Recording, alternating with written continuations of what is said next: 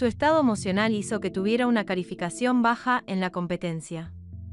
Yuri Anna Peniche abrió su corazón y dejó ver que no está pasando por su mejor momento, la razón la confirmó durante su participación en Las Estrellas Bailan en Hoy, pues anunció su ruptura con el futbolista José Luis López Monroy, mejor conocido como Parejita López.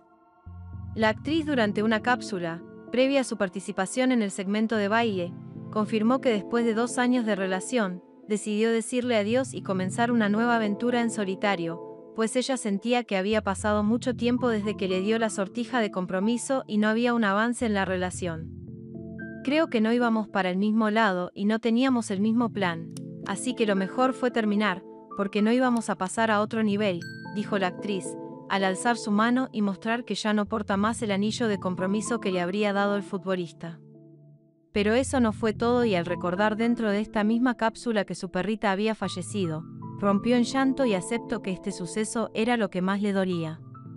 Mientras, el actor y juez Ariel López Padilla tuvo que acercarse para darle unas palabras de aliento y evitar que se derrumbara previo a su actuación en la pista de baile con Alfredo Tame.